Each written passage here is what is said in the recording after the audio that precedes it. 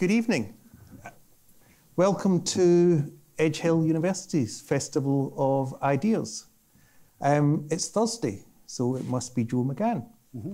Mm-hmm. I'm absolutely delighted to have Joe here uh, this, this evening. Just want to put, flag up the, the enormous uh, slide in front of you, which uh, is the web address of all of the events that we've got going on at the Festival of Ideas over the next couple couple of weeks. Uh, I'll talk a little bit about some of that maybe at the end.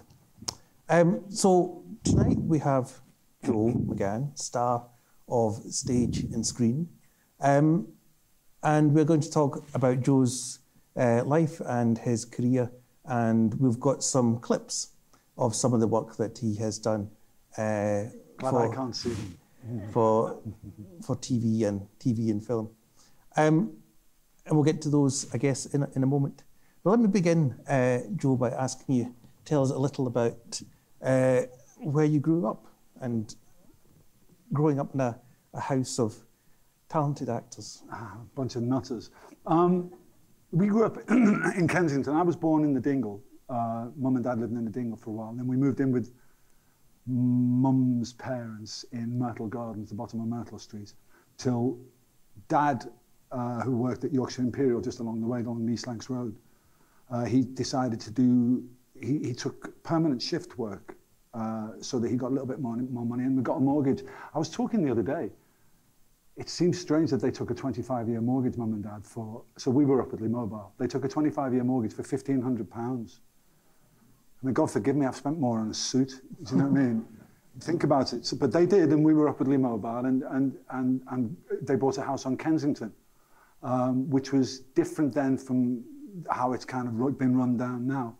Um, it was pretty much an idyllic childhood, you know, sort of we, we still went to school at St Anne's uh, in Overbury Street, which is where the church where mum and dad were baptized, where they, oh, well, they were married, not baptized, they were baptized in the dingle, but, and so we all went to school there.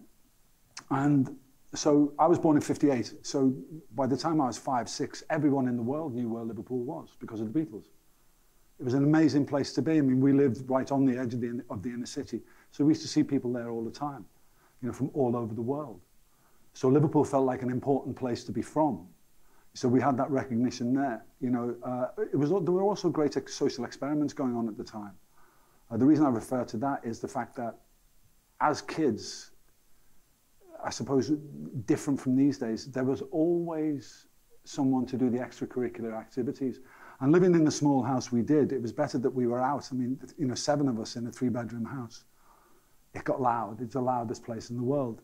Um, but we were always out. We did everything from, you know, athletics, scouts, you know, quizzes in the library, which we lived opposite, which was like our internet, of course, but pre-internet. We had a library 50 yards from the house. And Mum and Dad were always those kind of people who, if we didn't, they, they didn't know anything, they said, go and find it out. So it was this kind of encouraging atmosphere all the, all the time. And as far as the show business end of it is concerned, or, or, or that side of it, just again by luck, the school we went to, uh, St Anne's in Overbury Street, the, the church, uh, there was a priest there called Father Donald Gordon, who had a choir, he ran the choir. But he was also the convener for the British end of an, of an international choir called the Pueri Cantores. So if you, got to play, if you got to be in Father Gordon's choir, then you got to go away to Europe. Before mum and dad could ever afford to take us away, we went and sang in Belgium, we, you know, went to Germany, we went to places like this doing these big song festivals, which for football mad kids was great because we, we felt like Liverpool Football Club that we were going away. We'd play the other choirs in football. And, and, and you know, sort of, like, it, it was amazing. And we, and we got to travel a bit all in these, these white albs with, with blue crosses, little scallies as well. But, and, and, but you know, but and, and something about Liverpool then and now, I mean, sort of people, people remarking, I've lived most of my life away from Liverpool now, although I'm back. Uh, something people always remark is the fact that people are surprised in other cities when, when I tell them, even as kids, we were doing youth theatre, we were doing the choir, we were doing karate, we were doing boxing, we were doing Liverpool Harriers, we were doing all of these different things. And no one ever said it's a sissies game. No one ever said, oh, what are you doing acting or anything like that for. Everything was on the table. Everything, there was, there was a kind of tacit encouragement of, of, of everything bettered you. I suppose it comes from the Irish immigrant thing. You know, each generation, you, what your mum and dad want for you is, is that you do better than them, that you go further. It was also the 60s. It was also the time where mum was a very much a proto-feminist. You know, so this was very much about you know like women's power. So she kind of she changed a little bit. My dad put his nose out. It put his nose out a little bit. You know, because you know. So when when my sister, who's the youngest of us, there's five of us. When my sister, the, the youngest, went to nursery, mum went to uh, university. She went and or did a teaching uh, did a teaching degree. And so all around us was this kind of encouragement. All, all, my granddad, you know, uh, my, my grandma, my uncles, everyone was a reader. Everyone had their own kind of speciality. So there's this kind of autodidact impetus for all of us to try it all, to try everything. And so we did as kids, and it was great. You know, sort of. It was also good for me, mum and dad, because we we were never in. You know, so they they got a bit of peace. You know, um, but in in Father Gordon's choir, once or twice a year, he used to put on like a Gilbert and Sullivan or a gang show or something like this. So from the age of 9, 10, 11, we were used to learning songs, learning words, like getting on stage and, and you know, doing the Mikado, doing the gondoliers, doing these kind of things and dressing up and, and doing And it didn't seem strange. It, it was normalized straight away. So perhaps that kind of had an effect on how it was later.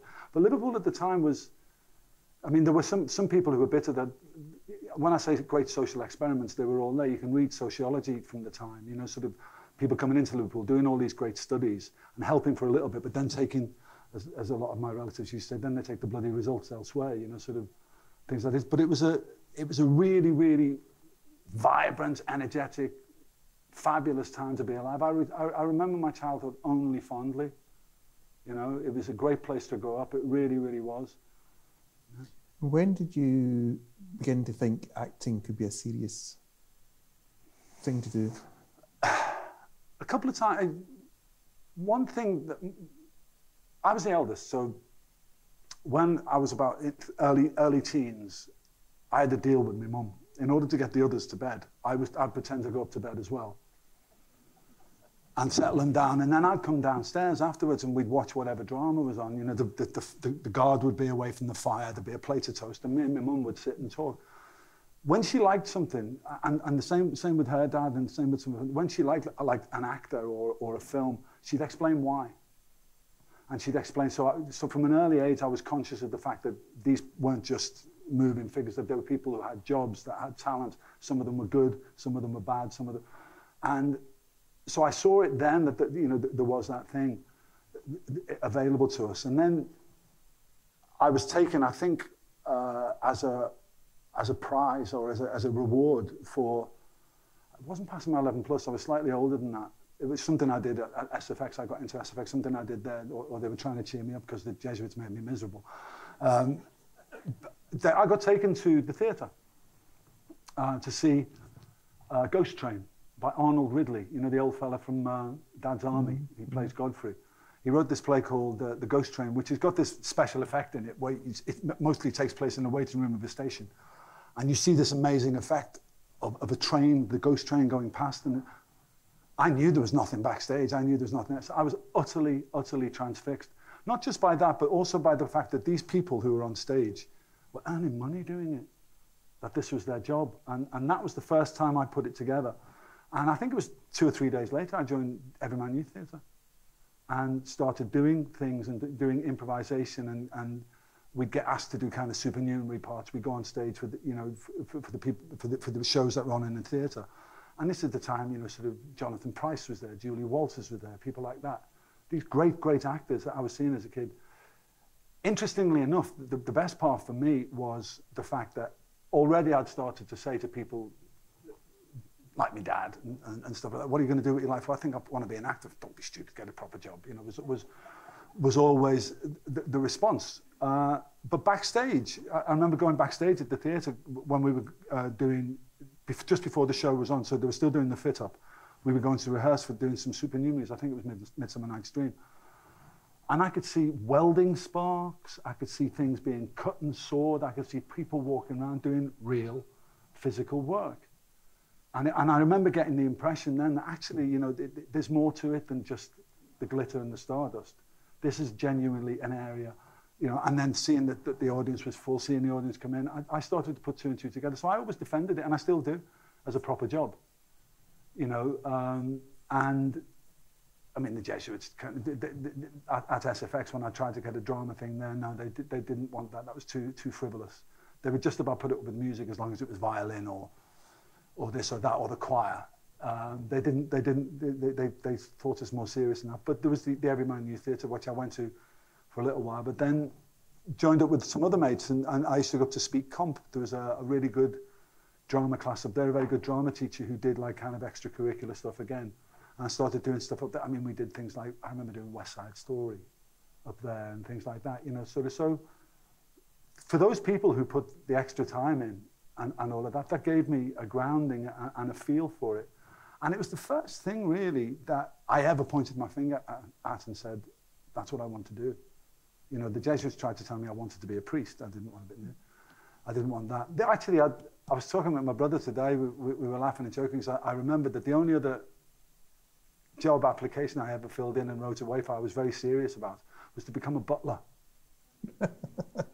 It was, true, it was absolutely true because I, I, what I knew is like because the Jesuits are telling me I'm a sinner and, and, and this and that and I was useless unless I did exactly what they said.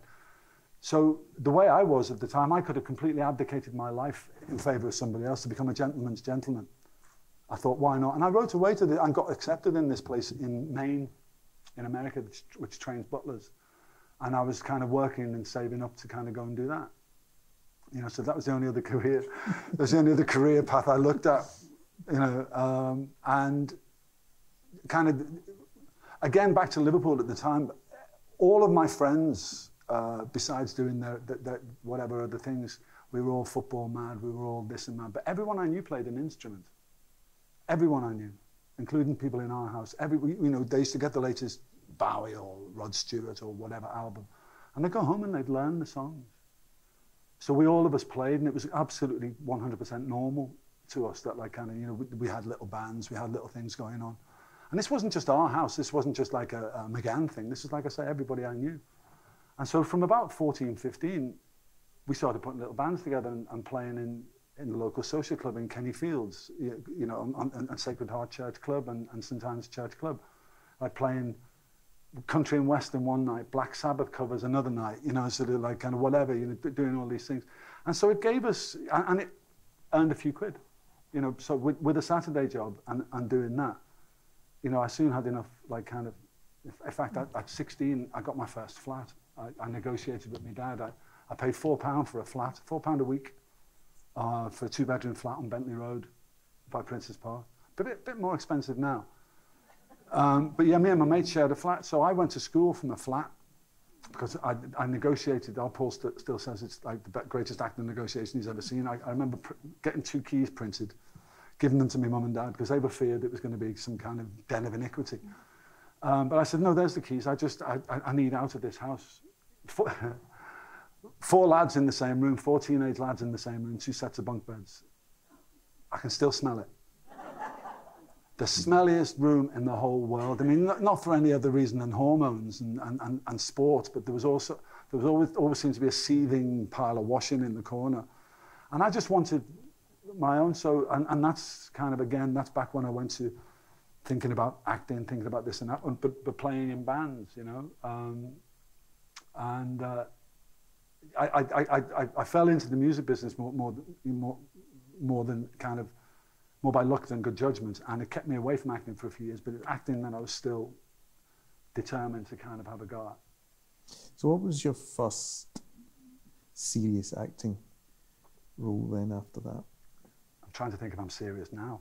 Um, yes, first one, I suppose. Let's say paid acting role. Paid or, acting roles. Um, well, I did a couple of like, I think about the first five or six things I did because of my size. I played coppers. I played third copper on the left on, on telly and fourth copper on the left, uh, on, on this and that. But I started auditioning here and there for actor-musician roles because I could play. And I thought that would be my way back in, you know, sort of, uh, lots of the people I played football with. I'd already by this time moved to London. I got a job in London when I was 17. I got a job at the Marquee Club And pretty soon after that, I kind of fell into, a, um, like I said, a record deal, and, and I, I became a songwriter for ATV Music. But I was still interested in trying to find acting, and so I'd done the music for a couple of theatre shows, and, and, and worked with you know, Nigel Griffiths on a show, and Nigel Williams rather on a show, uh, like jungle music, like putting punk music to his lyrics and, and things like this. Started doing that, and then auditioned uh, for a thing called Destry Rides Again, which I played in the band. And then Paul, my brother, was doing uh, a very, very well-received drama documentary called Gaskin. And so by a, by a nose, we went up, we met the director, and there was a part in it of this young, drunk, wife-beater, ne'er-do-well. And he gave me the part. And so Paul, Paul was off doing something else, and I, I had this whole scene to film where I was going nuts in a, in a doll. And that was my first acting part, playing, playing a scouser, playing a scally, playing, you know, the, the rougher element. But that ended up being my first paid acting role. Yeah. So then what, what happens next? How? Well, um, having kind of got the bug again and um, much upsetting my first my first wife because she kind of got used to the, the regular money and the kind of money and the kind of stuff that came with the music business. I never really wanted to be the front person of a band. I never wanted that. Like I said, I wanted to be an actor. I was happy to be in the band. I was happy to be in the background. I was happy to write songs. But I still wanted to act. I still wanted to get on and do, do this thing, which, which I found magic. So having got a couple of little bits and pieces here and there, I decided to, I applied to Claire Venables, who was then running the Crucible Theatre in Sheffield. This would be 1981, 82, around there, and no, 82, 83. And I, I, I decided to go away and do rep. I'd asked her, uh, could I go and do rep? And she'd seen me do a couple of music things and, and kind of semi-acting things in, in, in Liverpool fringy things. And she said, yeah, come over. So I went over to the season there and, and was lucky enough to get involved in the rep system where I learned a lot of my craft. I mean, I'd pick, pick things up already. You can on, on this job, you know, because not everybody I know who's very, very good at the job has necessarily been trained, you know, sort of by, by drama school, but you, you can pick it up. And I learned things there uh, by, by doing TIE. We were going out doing things like Mother Courage out of the back of a van. And then on the main stage of the house, I was in The Resistible Rise of Arturo Ui. Quite a socialist agenda, as you can imagine, going on then in the People's Republic of South Yorkshire. We also did you know, there was a panto going on. Uh, Stephen Daldry, his very first company came in there and I got drafted into his company.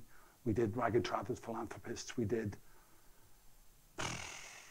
all kinds, uh, you know, it's, uh, the Canterbury Tales, we did that even, you know, things like this. So I got a kind of grounding in rep.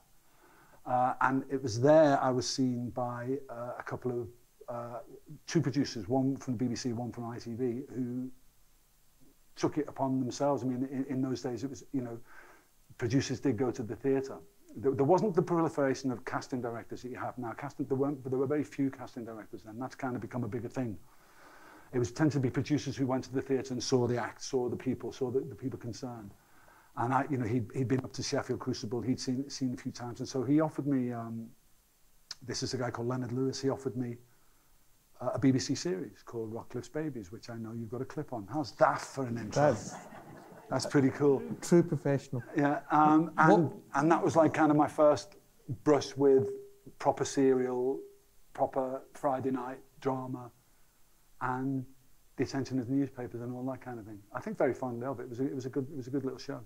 I remember Rockliffe's Babies very well. What we've got here, what we have here, is the just the opening title sequence. Uh, so you need to watch out for, for Joe. watch out for young Joe. If, if, Callow if, youth. If, yeah. if, he flashes up. So we're just going to dim the lights. We'll play the. It's just about 60 seconds. The opening opening titles of Rockliffe's Babies. Did you spot him there? Yeah. Did you see him? That was um, the first. It was the BBC's like response to Hill Street Blues was a big thing in the States, and they had that wobbly cam kind of thing, which is the handheld stuff, or, or the fast cuts camera, which has never been done here. This predates the bill. Only by a matter of months, I know, because they were filming in the same area as us. They were filming around the corner. I had a couple of mates in it. In fact, we used to call each other up and see what was on the caterers. see who had the best, and we'd go to each one because it was all uniforms and all of that kind of going on. Um, and at one point, Paul was filming with Neil and I just around the corner. It was all filmed in uh, Notting Hill Gate. Mm. And it was really well received, you know, Friday night drama, and a chance for, for me, certainly, to kind of, you know, to get a foothold in TV. The only bits and pieces I'd done. I, I, already by then, I'd appeared in a couple of like bit parts in films. I was in Alan Bleasdale's film No Surrender, uh, again playing a copper, strangely enough. Um, and a couple of other bits and pieces here and there, you know, sort of featured. But that was the first time I got to stay at a role. And, and importantly, in those days, you, know, sort of, certainly with the BBC, they have focus groups and what have you, and they, and, and they get the reaction of what, who likes what character and if the audience like this and that. And I came across very favorably in fo focus groups. Who knew? You know what I mean? It's not, not something I was trying to do. Again, more by luck than good judgment. Um, so I became one to watch, as it were, and started getting offering a little bit more. I mean, when I was doing that, Casualty started. And I was in the second or third ever episode of Casualty because the BBC liked to kind of put its so-called stars from, from one thing into another. So I went down to Casualty and did that. And so I, I started to get bits and pieces like that because of Rockcliffe's Baby. So that was the first, and it was the first time I started getting, you know, Radio Times covers, facing the paper, stories about this and that. I mean, already by then, my brothers and I had done a show called Yakety Yak, which was a musical uh, theatre. There's an interesting story about that. Again, look, I was auditioning, as I said, for Destry Rides Again. Uh, no, for another play by the same director, another one where they needed uh, actor musicians. So I went along with my best thing, kind of stood on the stage, and I remember the director standing up in the audience saying, "No, I don't want you for this." And I thought, okay. That's at least that's nice feedback. He said, "No, I'm doing another show. I'd like you for that. You know, you play, don't you?" And your brother's Paul, isn't it? And I went, "Yeah, who's just just out of RADA." He said, "Do you reckon he'd be interested in doing this?" The idea was to do a, a musical based on the songs of Leiber and Stoller. As it happened, the very next day, that uh, or a couple of days later, my our, our, we had the same agent then, or Paul Mark and myself had the same agent. Lady called Marina Martin, darling, very very like that. Um, and she was having a big 25 year party in Mayfair. And she'd asked my band, would, would I do the music? And I'd drafted Paul and Mark and Stephen in to do vocals, you know, because we all could do like all, all, all of this stuff. And when the director who, who came to the party saw all four of us, they went, ah, why don't I have all four of them? So lo and behold, Stephen, from being in Liverpool, had never had a serious job. Got offered this job and, and an equity card and everything, and kind of came down on the train, started in the East End, and the show transferred to the West End. So we had a kind of a name. We were already, you know, we, Jack Tinker from the Daily Mail nominated us that year for the best newcomers in, in the Society of West End Awards. So we'd made a splash, you know, these, these four lads, you know, uh, like in, in, in this one show. Um, also at the time, uh, the series which became Bread, Carla Lane, the Carla Lane script arrived on our desk. All the, all all, I never know why they did this. They offered it to us individually. They never brought us in together and said, I think this would be a good idea. But we all four brothers got sent the script separately for this thing called Bread. And it was really weird reading it because the streets that were mentioned in the script were the streets outside the back of our house and the streets around by us in Fithian Street and Farnworth Road. You know, didn't know who Carla Lane was at the time. Um, but we had a chat about it, the lads, uh, and I and Paul had a burgeoning career. Mark, was doing very well. he had been playing Lennon at the, at the Everyman and gone to the West End. Uh, he and I had gone out on a tour of Blood Brothers, the very first tour of Blood Brothers. So he was, you know, he was flying high.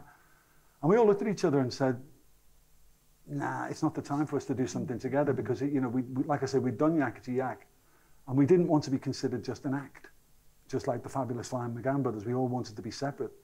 So much to the surprise of the BBC, they thought we were joking. We all turned it down. And, you know, it went on to be a very, very successful show. And I don't regret for a day that, you know, I didn't do it. Still get asked, were you in bread? Still get asked, you know, sort of, uh, um, but no, we turned it down. So things were, were moving. We, we'd attracted attention. We'd, you know, we, we stuck out, we stuck our heads above the parapet, but we stuck out slightly from the crowd. And again, it's worth mentioning, remember, this is a time it's changed again. It's changed back again in these days, it's, you know, Dave Morrissey's written about it, Steve's written about it, uh, Judi Dench has written about it, lots of people. There was a, there was a window in late, late 70s, early 80s, where working class, authentic people, because I think of, of the writers like Bleasdale, like Willie Russell, like you know, all of these writers that were writing urban, more relevant, more inner city kind of drama, we got the jobs. You know, so it, it was again a, a lucky break for us. So we, we got in we got in through a gap into what is still now a very very middle class profession we got we got into it. You know, it, it's harder these days. The doors closed again. I mean, it's you know, drama schools these days tend to look more like finishing schools because they're the only people that can afford them. You know, um, are, are the middle class, and I, I, I say that with regret, but it's it, it's more true than not. So we we got through at a time where uh, there were jobs for us. You know, for, for, for all of these things, and, and, and we were able to kind of parlay that up into into doing some things which are a bit more varied. You know? So after the first experience of Rockliffe Babies, you've mm. got a burgeoning theatre mm. career mm. as well. Mm. But it's always good to go back and do TV work that is repeat TV work being being a season, and then you're offered some more. One hundred percent, yeah. I mean, sort of, I got different bits. I was doing, um, I got uh, like a semi-regular half a series in All Creatures Great and Small. I was playing a cowman, you know, full up to there in cow and all of that, you know, doing all of those things. Um, and I got a call from another producer who'd seen me at Sheffield, a guy called Christopher Walker. Uh, and Linda Bellingham, who was I was working with on uh, All Creatures, was a very, very dear friend of Diana Weston's. They went to college together, who I ended up in the upper hand with. And she was she told tale of uh, Diana Weston was with Robert Lindsay, the actor, and she told tale of a, this guy, Christopher Walker, trying to, for the very first time, we, we'd had shows here, like Monty Python and stuff like that, which had gone and, to America and become an American format, like now it happens with The Office and stuff like that. But to, to date then, it had never been done the other way around. We'd never kind of taken an American format and made it British. And that's what this idea was. And my ears pricked up. And I, the, reason I heard about it was because I'd heard that Robert Lindsay had turned it down. And I thought, I wonder if they're still looking for somebody there. I knew Diana had it, and I knew that Honor Blackman was, was, was in the frame. And I thought, so I called Christopher Walker, who, who got me in for a couple of other things before. And I said, is that still, he said, so yeah, come down and audition for. So I went and auditioned, and I, I met, you know, Honor and I did these scenes.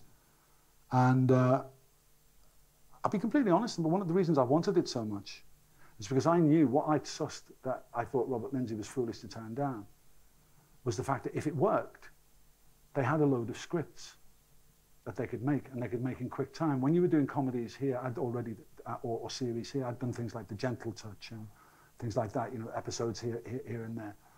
And what you were, wait, what, when people I knew were in regular series, particular comedies, particularly comedies, the great comedy writers only did them six at a time.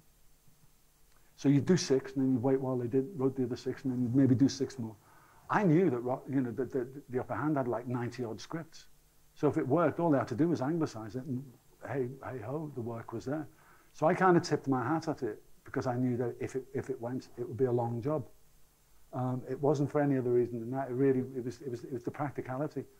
And uh, luckily, it was extremely well received. It, it, to, be fair, you know, it came out of left field. Um, nobody knew that it was going to be a success. Like I say, the people had turned their nose up at it, like, like Bob Lindsay and a few others. And yet, from the moment it went on, it was, it was, it was a massive hit, and, and ITV used it to, to block everything else that was on. We literally did every night of the week, except Saturday and Sunday.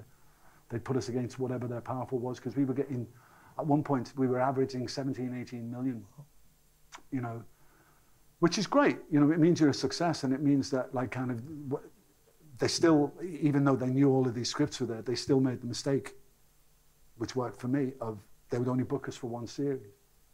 And so when it came, to the next series, they had to redo your fee. You know, and I said, how many scripts have you got yet? You sure you only want to book me that much? Okay.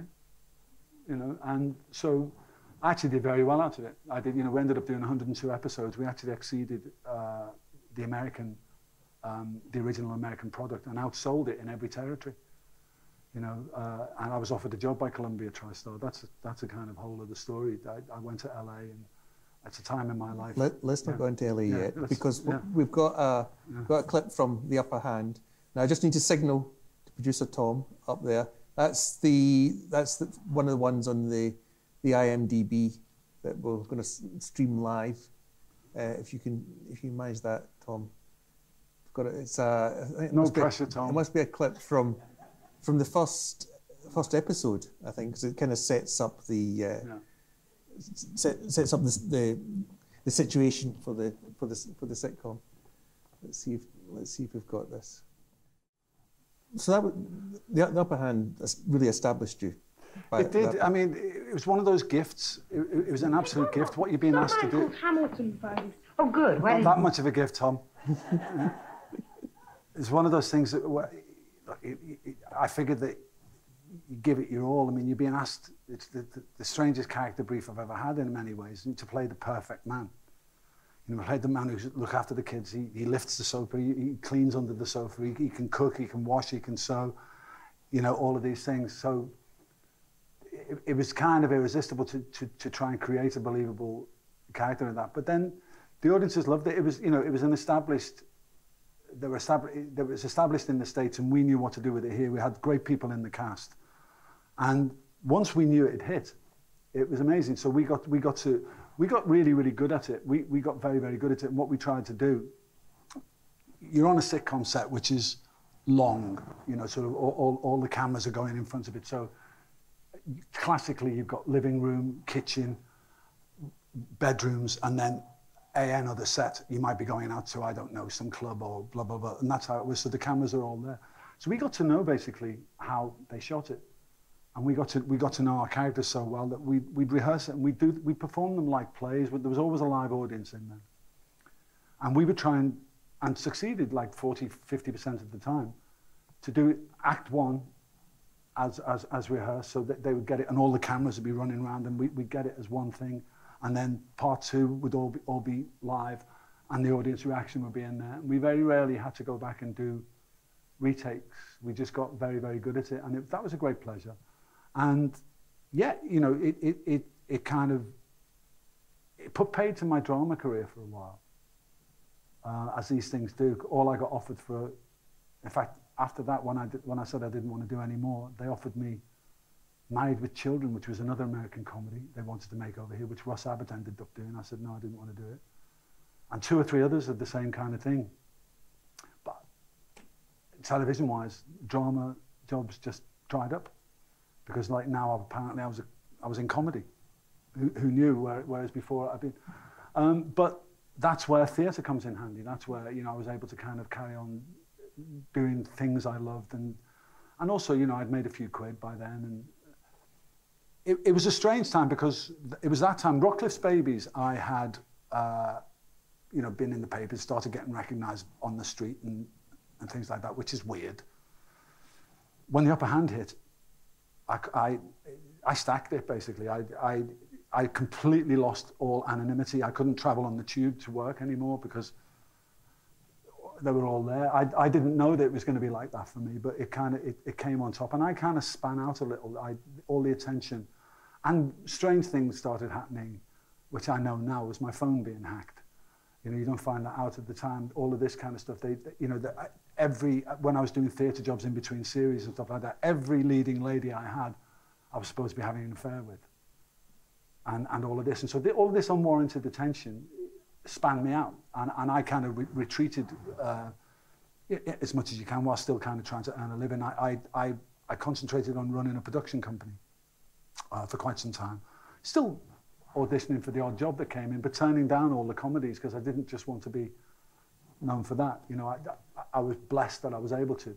Until a divorce anyway, I still had a few quid. Um, and, but it, it, it was at one time in my career, you know, there I was all over the place, the envy of everybody else, but in myself, I felt wretched. I just, it was a very, very bad time for me mentally. Uh, I started drinking too much. I started like self-medicating, those kind of things. So, while, you know, I, I, and it sounds horrible. I understand why when people say to you, what's the matter with you? You know what I mean? So, oh, well, you know, I'm not, what have you got to worry about? You know, you're all, you're all over the telly, you know, you're earning all this money, but that only compounds the problem. And it took me, you know, it, I'm not the only person it's ever happened to. Um, but it took me a while to kind of get back on, on track with myself after that. And I kind of realized that I needed to kind of do a, do a few things to protect myself from all of that falseness. I loved the job. I mean, Robert Downey Jr. said a little while ago, didn't he? He said he acts for nothing. He says he takes the big bucks for all of the rest of the shit, as he put it, that goes with it. And I kind of get what he means. You know, it, it, it's a job I love and I love the work, but all the, the rest of the attendant stuff I find pulling teeth, you know.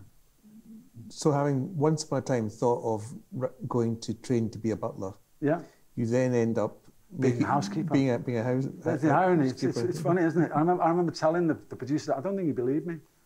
I remember back in the day, oh yeah, I wanted to. Be... Yeah, okay, that's a little bit too desperate, you know what I mean? But but it's the truth. Yeah, the, these ironies, you know, playing this perfect man, like I say, you know, I did the fan mail I used to get was ridiculous. Oh, you can come around and do my ironing any time, you know, all of this, and it, yeah, he, you know, the perfect man like that doesn't exist but there he was. And I suppose it also marks the last of.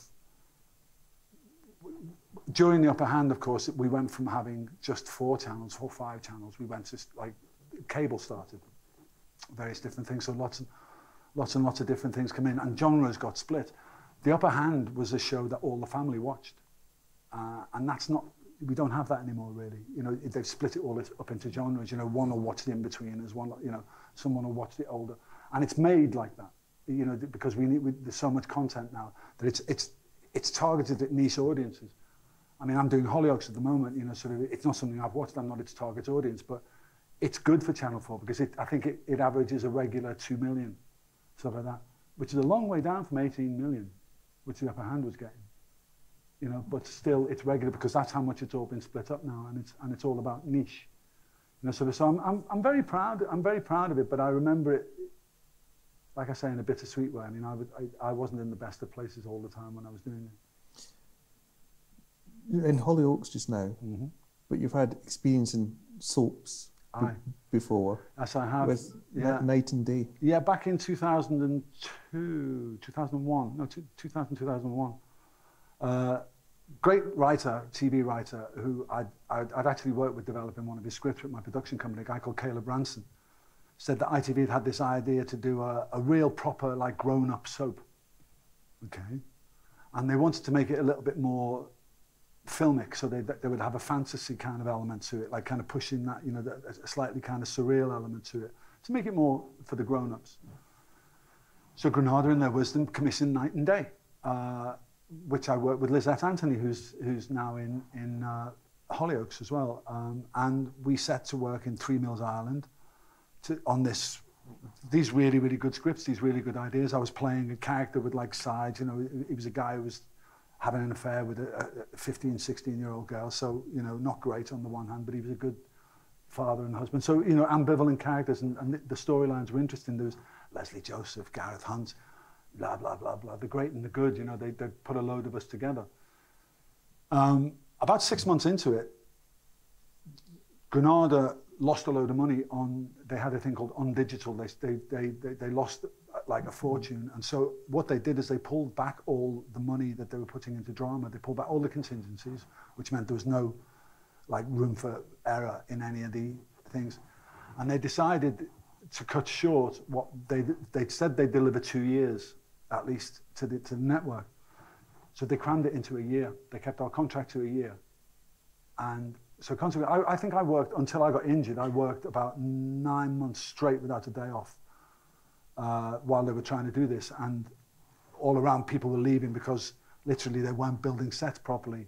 They were filling holes in storylines because they were just, you know, um, getting people to, to read stuff straight to camera and things like this, which is kind of fitted into the fantasy element. But for an actor, you just think, what's going on here? We, we, we can see that this is dying a death or, you know, on the thing. So it was, it was, it was difficult. But strangely enough, it became a big hit in Australia.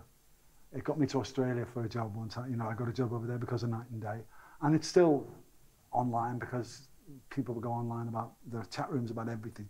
There, um, there are people who are still fans of Night and Day. It was a worthy attempt. It, was a, it really was a worthy attempt and some great actors in it. And single camera, good writer, good production values until they started leading all the money back. And yeah, a happy job. We've got a clip of we've got, Uh-huh. a, we've got a clip from from Night, and Day. Mm. Tom, if we go back to the the not the IMDb stuff, the, the other list of clips. The next we've, one, we've, we've, we've, we've got, and this is a, a scene with you and uh, Lysette Anthony, Ah, bless and you, I think you see the the sense of the fantasy element in it as well in the end of this clip. It's not quite EastEnders, is it? Not quite La La Land either, is it? You know, but um, but you know, it was a valiant attempt. It was I I, I very much enjoyed it, and I, I made some great friends in it. You know, uh, but whoa, I, I was there when I, I remember watching all of a sudden um, cameraman we were filming in, in Three Mills Studios in East in the East End of London, and one of the cameramen who, who who wasn't working had his monitor on, and first planes went into 9/11. It was 9/11, and so we, we were working. And I remember I remember for that all kind of work stopped that day, and, and watching the news break on the telly while we were in our little soap bubble. You know, uh, it was just uh, strange, strange things you remember. Boring as well as well, isn't it? Uh, um, but no, it, was- it was it was a it was a good job again. You know, sort of. Uh, it was my like I say first drama I'd been offered for a long time. You know, uh, after the upper hand, and so I was pleased to do it. And the, the producer still gives me work now, Damien Timmer. Thank you. Um, and you know, it, it, it kind it, it went missing here and it was much derided here. But like I say, it was a hit elsewhere. You know, not everything you do can be well received. But So I was going to ask you how, after the upper hand, mm, after the experiences you'd had of fame, mm, and you've gone away and run your production company, mhm. how did you bring yourself back? I, I, I discovered that there's a lot of guff spoken about this job, especially by people in it, and kind of ways of being. You don't. I've learned that you don't have to play that game. You know, what was always, like I said, as a kid, what I saw was a job. I just went back to that. I went back to treating it as a job, more as a job, and not as like kind of this thing that just takes over your life. And the fact that other people, you it is strange, and it never gets normal you know, to, that people go, oh, it's you, and grab you and say, look who it is. You know, like you can't hear. People think celebrities or people have to tell you can't hear because they're in your living rooms. That, that's weird, weird sometimes, but it's part and parcel of it. It goes, I like the job. I like the people who do the job uh, almost invariably. Actors get a bad press, I think, for the most part. You know, sort of if, you know, people say, oh, what do you do at a party? Do you know what I mean? And you say actor, they tend to step back a little bit in case they're going to be either bored to death or talked to death or some kind of drunken molestation goes on. Do you know what I mean? Sort of this idea of the rampant ego, you know, the attention seeking, that kind of stuff. Of course they exist. They exist in any job. But people who've been in my job for a long time become partly inured to all, all of that stuff, but partly by choice they are the most pragmatic and sensible and well-adjusted people that I've ever met. So I just went back amongst those and just stopped reading the publicity. I was doing a show. Uh, I came up here to do a show for for for one, just between the last two series, I think it was, of, of the Upper Hand. Ken Wright called me up. All right, Joe. Uh, listen, you know the, the playhouse is going to go dark. Will you come up and do something for equity minimum? And I said, yeah, fine. And I'd love to. You know, said I love the playhouse and stuff. And and he said, oh well, we'll do one of Willie's plays. I said, well, with respect, I said, because I, I know Willie as well, and I, I said, they've been done. I said, if I'm going to come up and do something for equity minimum, and I'm going to, I'm going to guarantee you five weeks, you know, probably filling it because I was a big name then and all of that. Uh, can we do something new? So he said, are you sure? And so he, I said, you must have something being the big producer you are. So he sent me three plays and the one I picked was a one-man show. And it was brilliant and it was lovely. And, and he said, it really? And it was about a guy who gets accused of sexually molesting his own kids. He didn't do it. But the whole of the drama, the whole of the play, the audience aren't sure. And so this one man show, I came, I came, and it was funny. A guy, a guy called Dennis Lumborg wrote it. Really, really, really funny and really touching and really searing. And a big hit um, in uh, at the Playhouse and transferred into the West End. I don't know whether you remember when Stephen Fry left Cellmates uh, because of depression strain. Well, it did me a favour because that theatre became free. And I, I literally, I moved, he left on the Friday. We were in on the Tuesday. You know, sort of I finished the, uh, and so again, fated. I was sitting in my dressing room in the West End. Uh, there were great reviews for this part. It was a really, really lovely play and a gift of a play to do. Really brilliant reviews. It's, I was reading Time Out magazine, and in the front of it was my picture was on the front, and, and, and great. There was a review inside. It was like my mum wrote it. You know what I mean? It was that it was that glowing. And then on, in the back, under the television section, in the review of The Upper Hand, it said I couldn't walk and act at the same time. That's what it actually said. So I remember thinking, and I've still got it in my memorabilia, it's the same magazine. And that tells you all you need to know about kind of, or told me all I needed to know about that game, you know, and, and not trying to pander to whatever people think out there. It's fine. In fact, I went through, I went through a phase of positively playing with it. I just openly used to, when people wanted to know things, I just completely fabricate them. Just to make things up and see how far it went. And, and, and things like when I was filling in um, because you realize how much of a nonsense it is. When I was filling in, it, if when you go to the theatre, you see in the program, there's always a kind of précis of your career.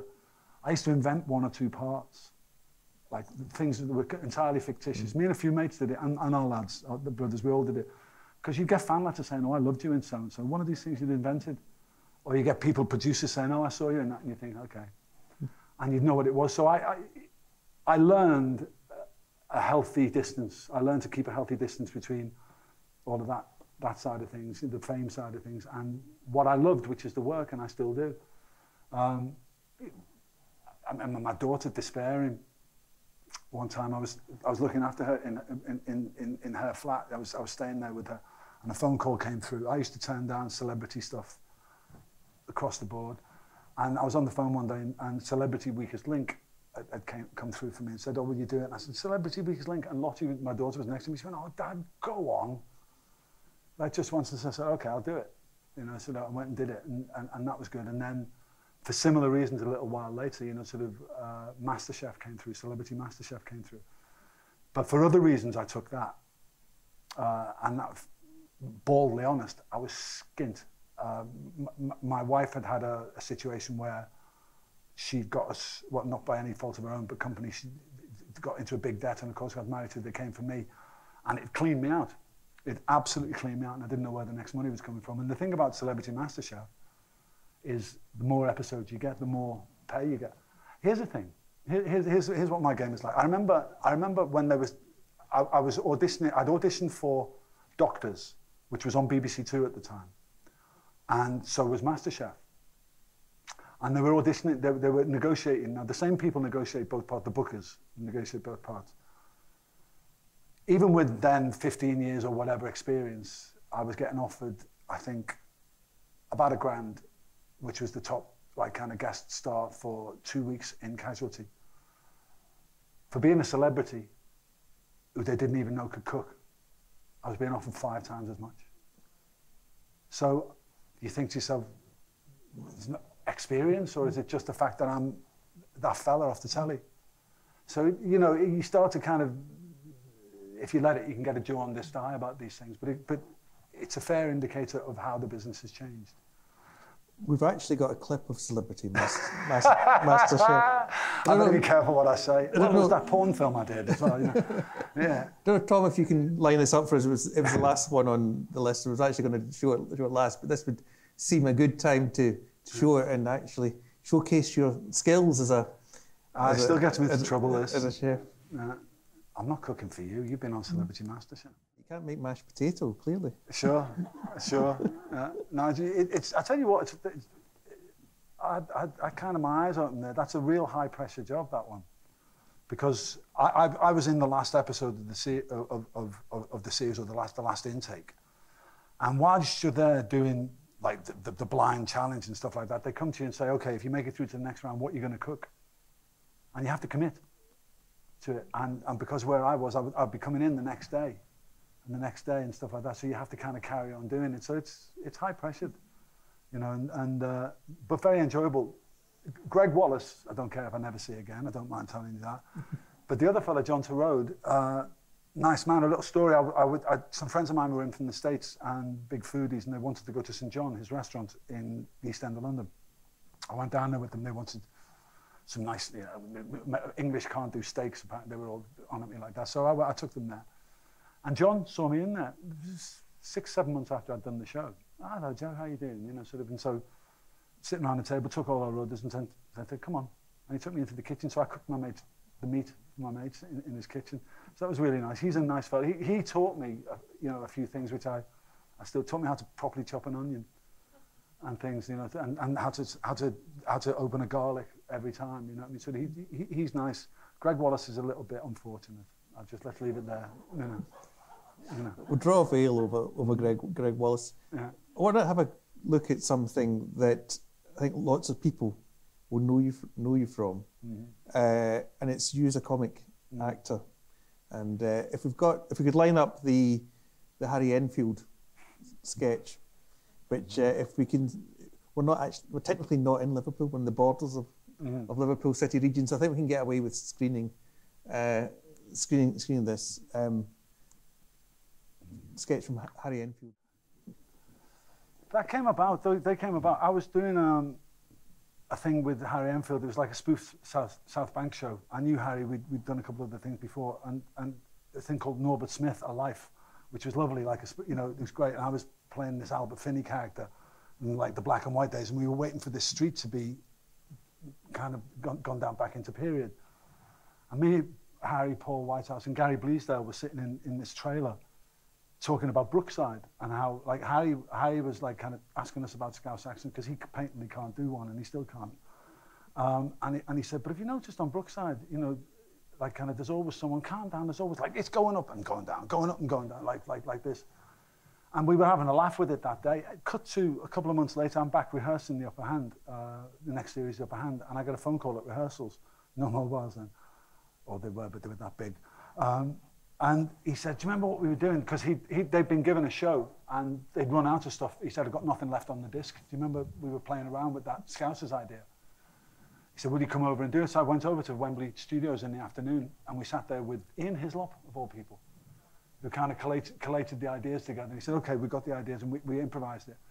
And we first put that sketch in front of an audience of his show. That he, he he already had um, Wayne and Waynetta and Tim Nice but Dim and, and these other characters, and they got quite a good response in front of the audience. Came, came to the Scousers, nothing.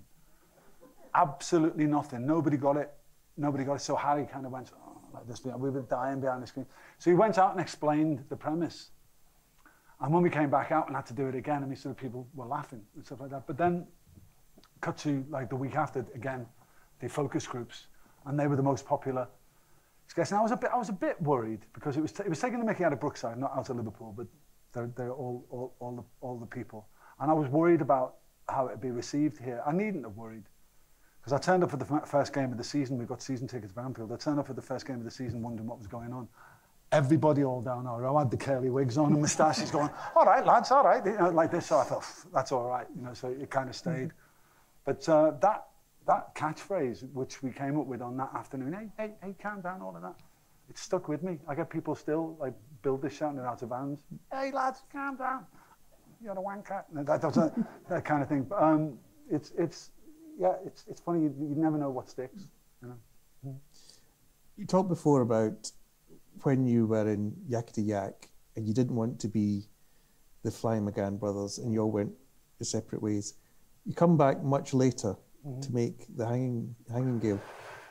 Well, that was all going on. We were trying to get it made, all like during most of the upper hand. Stephen and I were in Kerry. We we were trying to trace where our family tree come from. And if you, if you know anything about genealogy, you know that Dublin, the records burnt down in Dublin in 1870. So to get anything before that, you have to go to the parishes, find out where it is. There's no central record. So we're chasing this, and we kept seeing eyewitness accounts of the famine. And we realized, possibly by being one step removed, like by, you know, by, by being English, S- Stephen and I had this kind of Damascene moment one night. We said, this has never been treated on film. It's, we've never seen, we, we know the stories by secondhand. We've seen now them written. So Stephen and I sat up with a bottle of poitín, like kind of most of one weekend, and just wrote down a treatment because we were excited and we thought, well, if we use all, we, we, we called the lads back in England, said, if we put something together, would, would you put your names to it? And they went, yeah, I mean, in principle, yeah. Uh, and we sat, sat and wrote the idea that it would be about a family, that it would be like upsetting the famine and stuff like this. And, and we, when we flew back from, from Dingle to London, we got a, a meeting with Michael Waring on the Monday or the Tuesday. And he commissioned it on the spot. He just said, yeah, great idea, commissioned it. Which then led to a six years of wrangling because people were feared that it was giving us too much power. W- one thing I knew by running my production company was I knew that the BBC had to start taking independent commissions and co- co-productions. I also knew that in Ireland, because I was making something there, that there was a Section 22 tax agreement, which was great for production. It got you got you money off the production. Put the two of those together, and the BBC doing an independent co-production in Ireland was irresistible. But of course, it put the, put the, the nose out of joint of the leader of BBC Northern Ireland, a guy called Robert Cooper, who was sniffy about the whole idea. Probably because he hadn't had the idea himself, you know, and, and careerists being careerists, they're loath to take anything that's not their own baby. Anyway, six years later, we got it made and we wanted it, we, we realized they'd never let me and Steve write it. We did ask, they said no. But we went and found a guy called Alan Cubitt who's since gone on to write things like The Fall and, and Thin Blue Line and stuff like this. He, he's a really, really good writer. We, we commissioned him to do it and he wrote a great script. It's not easy to watch uh, because we stuck true to it. It's not about the fabulous Flying McGann brothers. We play the feelings in it, a family who are absolutely torn apart, like Ireland was torn apart at the time. And it's probably the thing in my career I'm most proud of because it, it took us so long to get it made and it's so authentic. The BBC won't show it again. They showed it once because our deal is too good. They'd have to pay us too much money. Um, that's a fact. Uh, but it gets shown across the United States every St. Patrick's weekend on Bravo. And in Ireland, they actually show it in schools to teach them about the famine. So very, very proud of it. Really, really, very proud of it. Let's watch a clip of you in the, the Hanging Gale. That's another one of the IMDb clips, Tom. That's the, you'll be pleased to hear the last of the IMDb clips if we manage to get the sound of this one to work. Here we go. Nothing. We, we were in, hunting in the wrong place, as it turns out. We, we, we eventually found we were from Roscommon. Um, but, like, it, you know, we, we were really looking around. We were staying in uh, some friends of ours' places out, out there. It's actually, two casting directors, uh, John and Ros Hubbard, were staying in their place. I mean, they heard about it and, and, and, and things like that. But what I learned about the McGanns, I mean, because during the filming of it and everything, as you imagine, it was quite harrowing, and, and, and we employed most of Irish equity as well, you know, so, so they were th quite thankful. We were invited back this year. It's 25 years ago since this, this, it was this summer since we shot it. Jesus. Um, and also coincided with Ramelton, the town where we based our, uh, in, in, in County Donegal, where we based our production, where, where we were thinking, of course, if the budget for the series is about five, six million, uh, we put a million and a half into the local economy. So, as they say in Ireland, a mile of good favour goes before us, you know. And they invited us back there, and we all went as a family to kind of to the Lennon Festival, which is the River Lennon, which runs through Ramelton. They did, that was their 50th festival this year. And it was great to walk in and see, and, and how many, all the, all the local people had brought in their own kind of memorabilia. There's this, like the local hall. And it was amazing to see how many people we'd touched. Not only that, but, you know, sort of, when you get letters in the Times and the Irish Times of like kind of people saying, why did it take like kind of four English lads to remind us of our own history? And there were questions asked in the house about like kind of, is there a collective shame about the famine and stuff like that? There was just a sense of doing something really, really good and big and being able to follow the whole process right through, even if they thought the lunatics were taking over the asylum, you know, at some time. Um, it was great. You know, we won awards as producers. Um, before I ever won an award as an actor, I won an award as a producer, so that's strange. But still very, very proud of it. At the end of it, we, we were all sick of each other again.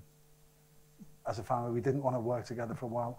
Unless, I think, oh, Paul said, unless you come up with something which is four beach bums in Barbados, I'm not doing it. um, and so we all went our separate ways. Um, we were asked, strangely enough, just recently, would, would we consider doing something again? And we thought, the right idea, yeah, why not? Because it's an obvious sell. It's an obvious selling point, and, and people leap on that. Um, but we made something good there, and we, we kept a hand on it. We, right the way through all, all of the process. We didn't give away our rights to it until it, it was done the way we wanted to do. So it was a labour of love, and you know, very nearly tore us all apart, you know, infighting and, and things like that. But immensely proud of it. Immensely proud of it. it. It was the very first. It was the first historical drama the BBC made that the French had bought in their history. because the French are very sniffy about that. Mm. You know, the French are very sniffy about, no, we make historical drama, you do not. Um, but they took this one, and the BBC were, were, were amazed. They took us, they, they flew us down to, to the Cannes TV and Film Festival, MIPCOM, and put us up at the Hotel Eden Rock. Never seen the like of it. I mean, all you're doing is selling a TV series, you know what I mean? So if they'd used some of that, they could have paid a couple of actors, you know what I mean? To the, but it was, it was nice. It was nice to see that side of things. And I know that don't have to do it again. You know, um, I leave, I leave that the production side to other people. So one of the things you're well known for mm-hmm. is that relationship with your brothers. Yeah. The other is with Liverpool. Mm-hmm. And I want the last clip I want to show is of the Liverpool Nativity, and your part in that, which showcases your skills as a in musical theatre. Oh God! So let's, let's, let's, let's, if you haven't uh, if you haven't seen this before, let's have a let's have a look, look at look at this. The idea of the the, the, the Liverpool Nativity is it takes the music of the city uh, to tell tell. tell it was all live. It was filmed live as well. Yeah, yeah, it was all filmed live. Like 50 cameras over three hours through the centre of Liverpool, and there was a Liverpool game on Liverpool United. You know, mad. That, that was a that was a really interesting day actually. Noreen Kershaw uh, it was who asked me to come come and do that. Uh, I was I can't remember. I was in theatre somewhere. They got me off for a couple of days, um, and they were worried because they realised they'd scheduled it up against one of the busy days with Liverpool United playing. And Liverpool won. Yes. Um, but they were worried about the crowds coming into town afterwards because we, we were desperate to finish on, on a live shoot, of course this sense of impending, like this whole machine is rolling towards you. You know, we, we, we, we'd done something inside St. George's Hall and then shoot, shot out to be, to be on the stage at the back of St. George's Hall. And you could feel this thing all getting there. It all had to be, you know, at, at the right time. Um, we got it. And, but then they were worried about people getting away from it and, and the camera and all of this because all the football crowds came into town. They needn't have worried because the whole crowd started, there's only one baby Jesus, there's only one baby Jesus. And it just starts the whole thing. And it, that's what, you know, it makes Liverpool a, a, a, great place to do these kind of things. You know, it was, it was, yeah, it was a really good day that. Yeah. And you've got a long way around to come back to Liverpool now. Because mm, mm. what you're going to do for the next couple of years is Hollyoaks. It's Hollyoaks, yeah. I was actually, you never can tell. I, I in a couple of weeks, this will be the longest I've spent in Liverpool since 1976 when I left. Uh, I've come up and done plays, I've come up and done you know TV jobs, but nothing for, like now. For like, it'll be 12 weeks in, in a, you know in, in a moment.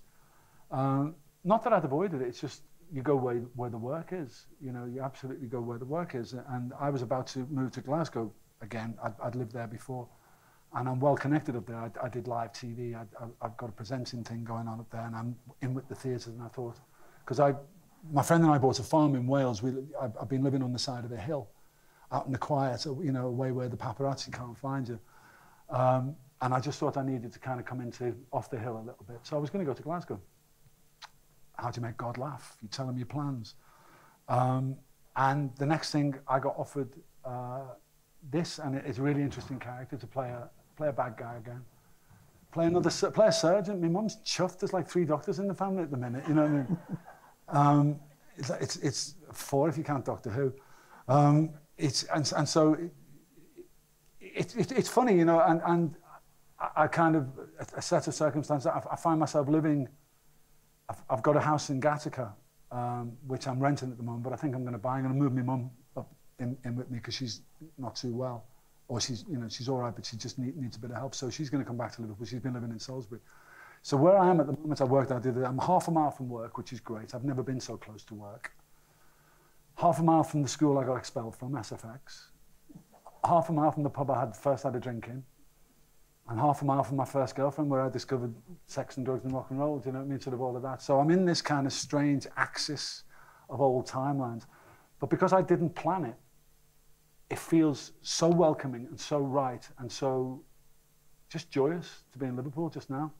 You know, I, the, the, last thing I did, I was here for any amount of time. I did a, the new play at the New Everyman, the first new play there called um, Hope Place. And that was great. That was, you know, great to be back. And, and, and I, I still come back when I, when I can get to the game. Um, but so much is happening here at the moment. There's like six or seven professional stages. There's this and that. And And like I say, not asking for it, it, it coming by surprise. It's, it's, it's been a pleasant surprise. You know, that I, and there's, the- it's, it's funny in a roundabout way, you know what I mean? But, but, but a lad from Kenny to end up with a house in Gateacre. Seems like I've made it, you know what I mean? It's like, and, well, it does, doesn't it? By what else am I going to measure it to? Do you know what I mean? I feel like, yeah, je suis arrivé, matey. Do you know what I mean?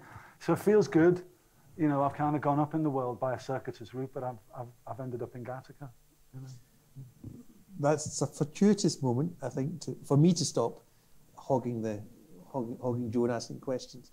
And let's, see if we've got some questions in Come on, the be brave. in, in the audience. Do we have a do we have a, a mic? Or are we gonna We'll, we'll hear you. we do have a mic, so use you wait wait for the mic to come. Who wants to ask ask you a question? Yes. Okay. Just, just wait to the mic. There's a mic there, Get, look. gets gets you. I, I, Thank you.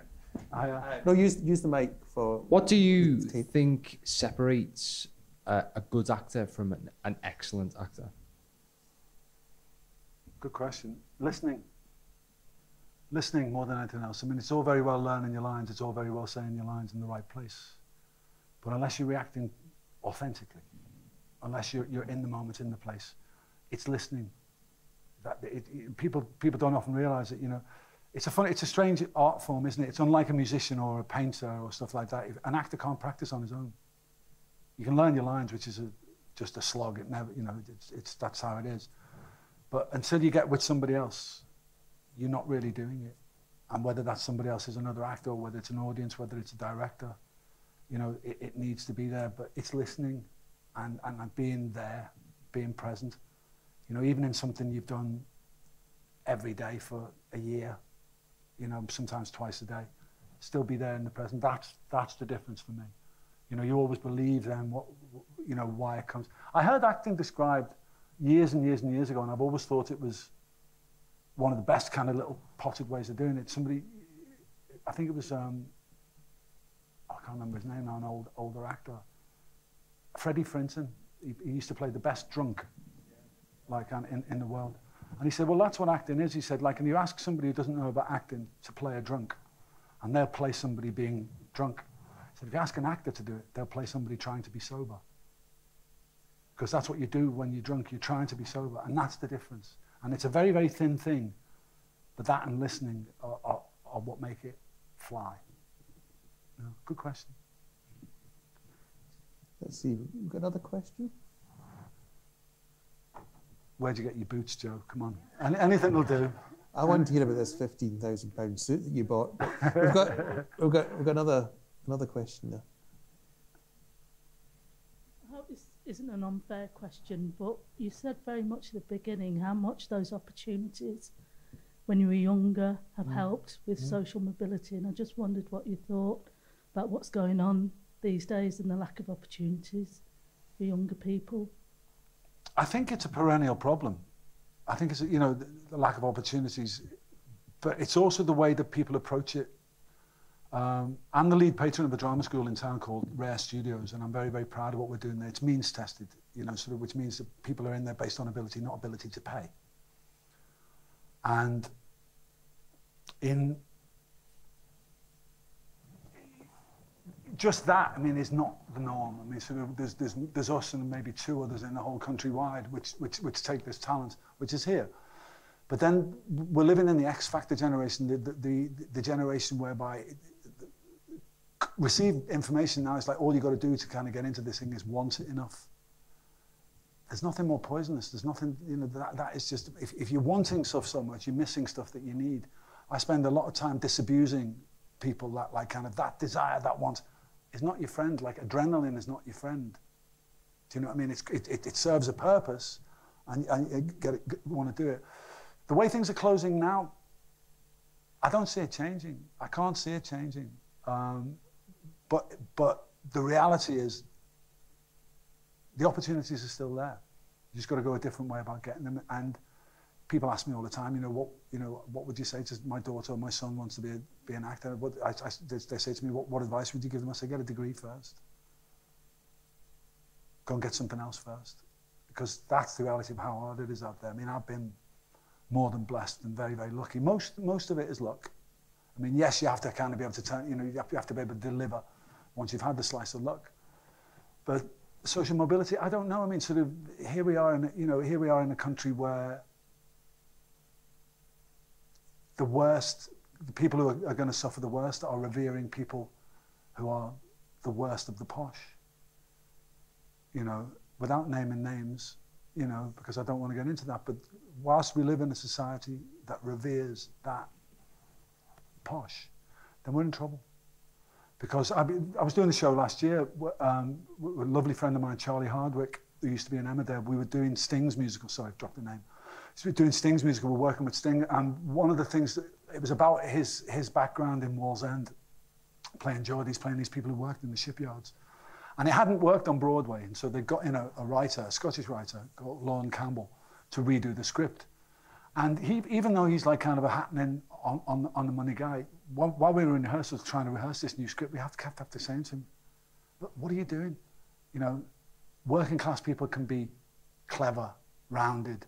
You don't have to use all of these tropes. I mean, he wasn't, wasn't quite whippets and flat caps, but it was all of those tropes of what a working class person is. I remember, you know, sort of like my uncles who were experts in the strangest things, you know, autodidact, self-taught, you know, and they, and, and they, they used to pride themselves. This, this thing I heard a lot as a kid, you know, you can talk, talk to both a beggar and a king. So the idea of social mob mobility was romantic. It was there. But in reality, you didn't really get to mix much. There was a, a little bit of a time. Who knows? Look, history is cyclical. Maybe it'll come around again. What I think of things at the moment is there are various, various things which don't work for me. You look, if you look at the soaps, for instance, let's not talk about class for a second. Let's talk about body image, for instance. I mean, you'd think that everybody in Walford, right, or the East End, like had a six-pack, permatan, and shiny white teeth. They seem to be selecting from a very small pool of how people look, and this is supposed to be normal, everyday people. I mean, East End is probably not the best example, but you know what I mean? It, it, there's, there's a narrow eyes for the, for, for the people that are making these things. The actors are always the last to be paid for anyway. And what they want to see is that eight times out of ten, well-intentioned, they'll talk down to their audience. And so you end up in cliche. I think it happens in life. I mean, you know, there's not, there's not an enormous amount of... I, I, I had to fight with the producers of, of Hollyoaks because they said, okay, what accent are you going to use? He's a surgeon. I said, why can't he be Scouse? And they just looked at me. They didn't have an answer. I said, you know, I said, you know, it doesn't mean it, just, just the way he speaks and the way, you know, where he's from, it doesn't mean he can't, can't improve it there. But that's not their first thought. You know, it's a bit of a hobby horse of mine. Um, because I just think a whole somebody once said the propaganda you must most avoid most carefully avoid is the propaganda that comes from your own side and I suppose that's a roundabout way of saying we can change it, but everybody needs to change it. You know, sort of don't don't butt up against the wall. You know, just don't accept it. Call it out when it's there. It's like you know, it's it's it's another ism, isn't it? And it should be called out like any of the isms.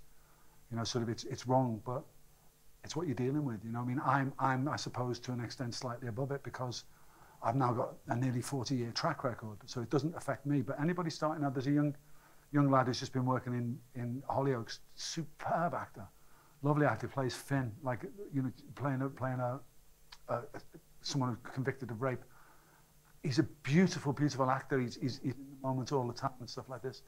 One of the directors who's been working with him knew he was leaving. He's going on to another big job. He said, I'll get you in. I'll get you in. You could see him, see him work and stuff like that. Just at the last day he was working, he got vetoed because they couldn't believe him because of his accent. And he's playing a working class lad. But they wouldn't have a Scouse accent because it means too much, apparently. Yeah.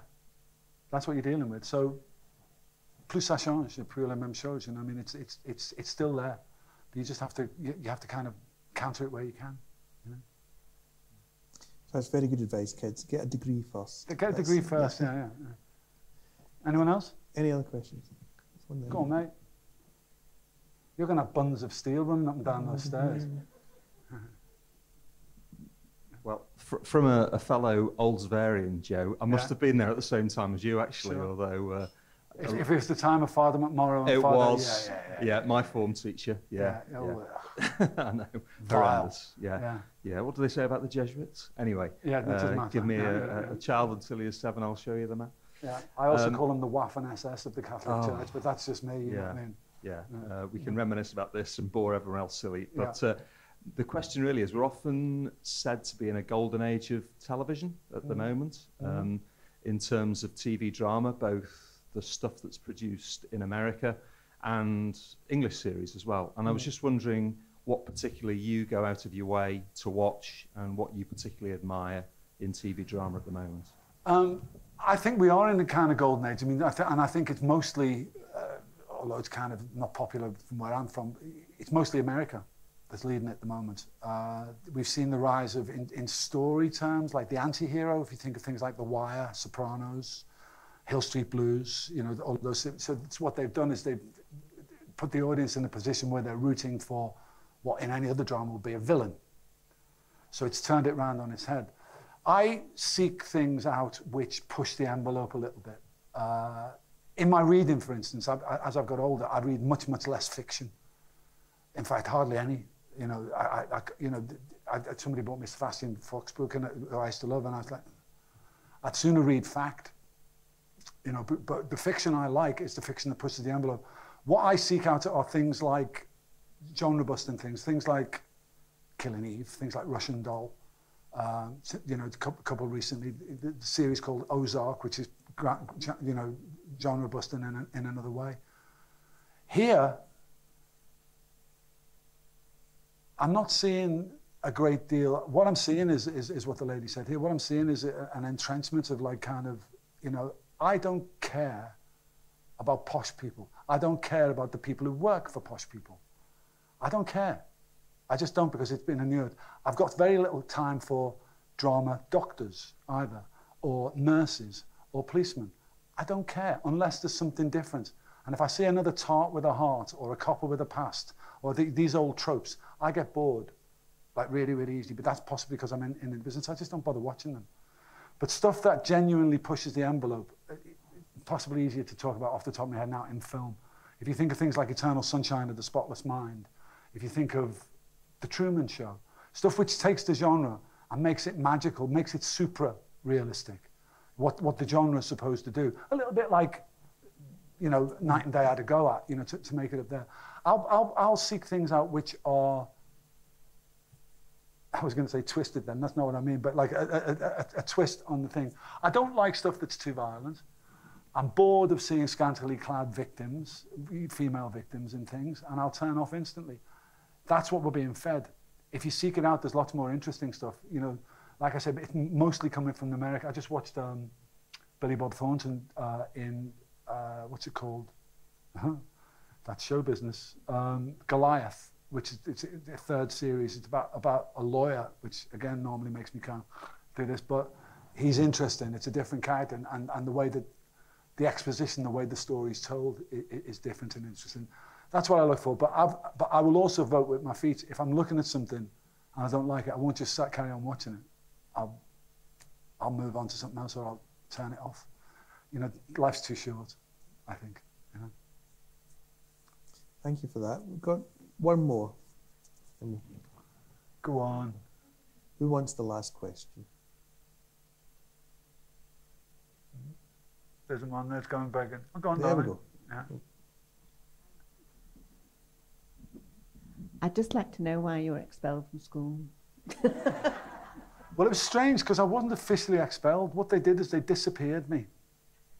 They dis- this is really, really what happened. I'd asked for a transfer at the end of every term. Um, I was singled out. You, you- know, I was singled out. Th- th- They decided for some reason I had a vocation, which my mum and dad, of course, being good Catholics, were like, oh, and I, I knew I didn't. But they decided on. They used to kind of. It's all this supposed to be this character building stuff, and I, I was I was a sensitive kid, you know, and, and I didn't need it. I, I was wanted to learn. I was happy to learn. I was I wanted to be there. I wanted to be good, and they started like kind of finding different ways to punish me for things I wasn't really doing because I was tall. McGann, you know, sort of if anything goes wrong in the class, you get punished, and they they did. And so I, eventually they just knocked bits off me. Um, by the time it came to going into the fifth year, uh, O level year. I'd already done a couple of O levels early. We had a lower sixth removed there, you know, sort of, and I, I was quite good at a couple of subjects. So they, they'd let me do them early. And I'd gone, and I thought to myself, I'd chatted it over with my mum, I'd, I'd, I'd asked for a transfer, they said no. I went back to school on the first day of term, and my name wasn't on any of the class lists. Because I'd asked, there'd also been, there'd also been an incident, let's just say, with one of the teachers who, who couldn't control his class. Uh, he was a physics teacher, and he was a little strange, specky individual, you know, sort of, I, I don't mean that, you know, sort of, I mean, you know, it's like one of these, like, like, like a cartoon character, couldn't control the class. And he'd attacked me. He'd attacked me with a board ruler out of frustration. Um, so I punched him back and I laid him out. Um, and I immediately went to the, the headmaster myself. I had a cut on my head. I went to the headmaster myself and I said, do you want me to get my dad up to the school or do you want me to get like a, a friend of mine who's, who's assistant bishop of Liverpool? I said, do you want me to get Father Tom up here? I said, this no good. No, no, no, let's, let's talk it down. I did get Father Tom up and they said, okay, it's fine. But they'd marked my card. So basically what happened is I went back with a new blazer, new bag and everything, thinking to myself, this is O-levels year, let's just knuckle down, I'll soon be out of here anyway. And my name wasn't on any of the lists, so I wasn't officially expelled. I was disappeared. They even went as far as I, uh, on my second marriage, um, I was married first time in a registry office. My second marriage, my then wife decided, wanted to get married in a church. And so I spoke to Tom and she, she chose the only Jesuit church in the central London.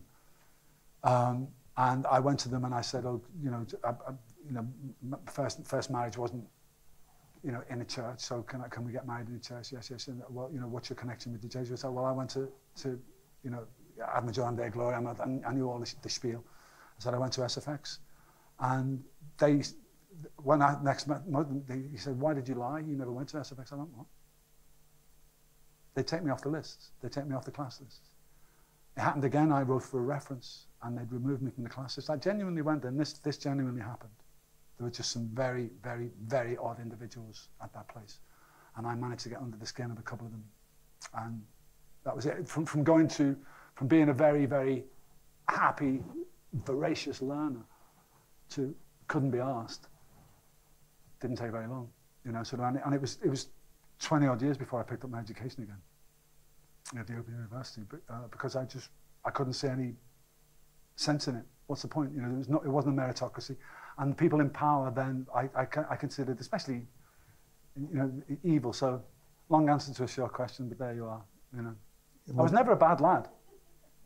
Never was. I just used to get blamed for other things. It's one of those things. What did you do at the OU?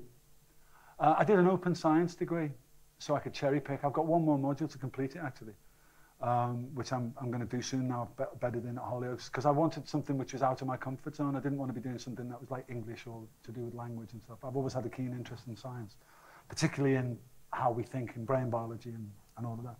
So the open science degree enabled me to kind of go back and, and redo my biology and do chemistry and then move on to the things which I'm really interested in, uh, you know, about memory and, and, and things. And uh, I've, I've got to say, anybody's ever thinking about doing the Open University, do. It's a fantastic resource. They've got superb tutors and, and, and all of that. I was doing, the last time I did any serious study, and a couple of years ago I was doing, a, I was doing Calendar Girls. I was playing the husband, so I was dead in the first act. Fantastic. So I was studying in the second act. I was in my dressing room doing all my CMAs and stuff. So it works. Um, but like I say, you know, it, it was, it, it wasn't the same for everybody. But for me, I, I, it, it put me off formal education for a number of years at school. Yeah. Thank you very much, Joe. Let's not have an advert for that university. Let's have a quick advert for. Let's have an advert. This, this, this university. Come on. And yeah. let me just tell you about a couple of other things we've got coming up. Tomorrow, as part of the Festival of Ideas, we're at the Tate in Liverpool for a one-day conference on the Lancashire artist Leonora Carrington. We've got some amazing uh, art, filmmakers and musicians there responding to Carrington's work. Next week, we have former head of the PFA, Clarke Carlisle, mm. will be here in conversation, uh, talking about his, uh, his charity work, his campaigns for, for good mental health. Next Friday, we have Rita Tushingham, wow. the actress uh, from Taste of Honey, amongst uh, many other great, great works. Um, and she'll be here with us next Friday. All the events are on the Edge Hill web, website, uh, just Google Festival of Ideas and uh, you, you, you'll, you'll, you'll find them. But that's, that's for later. For tonight, let's thank Joe for his time and his very generous responses. Thank you.